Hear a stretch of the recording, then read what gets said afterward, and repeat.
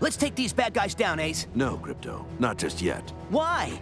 Because we're waiting for our third partner. Third partner? Who are we waiting for? A Green Lantern. You invited a human? We're super pets. We don't talk in front of humans. Calm down. This Green Lantern is not human. Wow, a dog lantern? That's cool. I've never worked with a Green Lantern before. Look, just promise me you'll stay cool.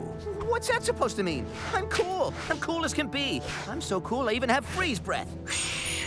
Yeah. See, there you go. You start getting excited and you can't contain yourself.